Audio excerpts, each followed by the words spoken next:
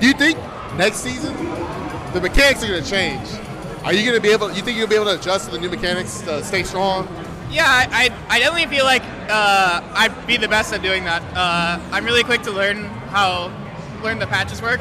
Uh, I've also had a lot of experience not playing Kilik lately, uh, which has definitely held my strength as far as like adjusting immediately to what the developers want uh, out of me. So So you, you feel confident. You, you feel like feel you, next season comes out, you're like, I'm good. I'm like, I'm not afraid of next season. Some, you know, some people they don't when the new when the new stuff starts coming out, they're ready to like switch characters to just. So I don't know if you're. I guess you're you're just prepared no matter what happens, right? yeah, like I don't I don't feel uncomfortable playing other characters. It's just Kilik's clearly my ace, so uh, hopefully they don't kill him. I don't see a reason to do it. So Yeah. I don't think he's on everyone's list to, to be killed anyway. So um, so what are your plans for um, DreamHack? Are you just gonna compete? Yeah, just compete. Uh, I'm only here for today. Um, yeah.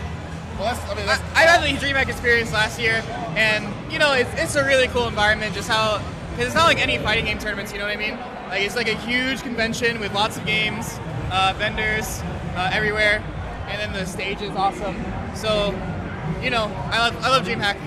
You know, I, I agree. Like, it doesn't feel like a fighting game tournament because obviously, when you have fighting game tournaments, there's way more places to play and relax and hang out and all that stuff. And this is this is just a convention. So, like, if you're here to play, you're here to play, and then that's pretty Yeah, much. there aren't a lot of fighting game tournaments like that, but there is like Evo, CEO that are that do have that vibe. But like, I mean, just look at this whole place; it's so huge. Yeah, this place is enormous. Yeah.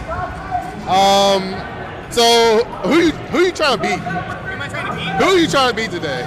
Well, I, I'm, I'm trying to definitely beat Zephykai. Uh, he, he's definitely been my training partner since the game came out, uh, and I am just worried about him uh, and looking forward to our matches.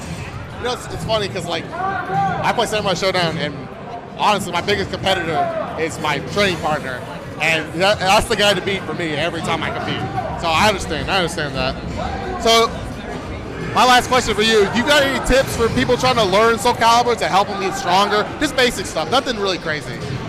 Uh, just make sure you're having fun because he won't want to improve if you're not enjoying yourself. That's true. That's true. I agree.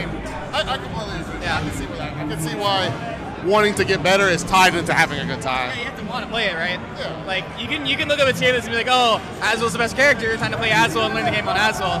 But if you don't actually like him, then why are you even playing?